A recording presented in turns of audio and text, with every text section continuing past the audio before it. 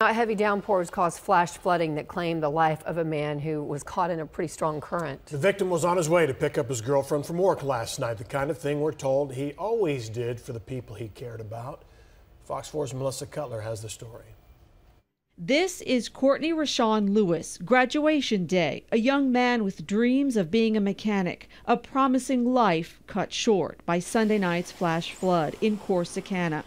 The 23 year old became stranded, his car stuck on a bridge from a creek that overflowed its banks. He was on his way to pick up his girlfriend from work, but never made it. We kept calling his uh, cell phone, and it kept going to voicemail.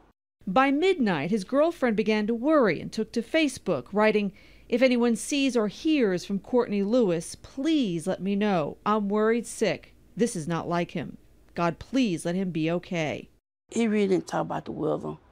I just told him be careful, you know, you know, cause is bad.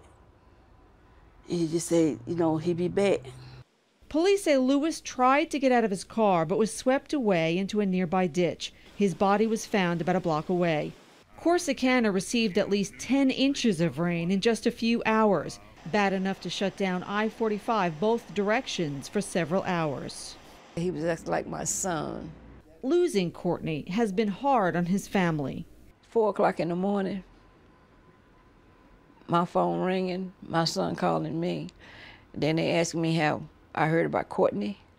What about Courtney? They say he never hesitated to help someone in need. It wasn't nothing that he wouldn't do for nobody. It hurts. It hurts.